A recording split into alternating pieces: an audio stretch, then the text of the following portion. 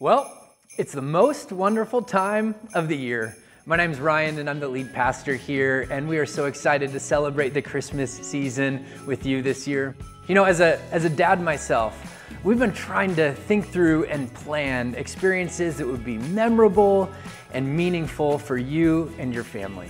So we have our Christmas concerts that are happening December 8th through 10th, and we have our Christmas Eve services that happen on Christmas Eve and each one of those experiences is designed to help you not only connect with your family and friends, but also with God. So we hope that you will join us at some point during this Christmas season. We'll see you there.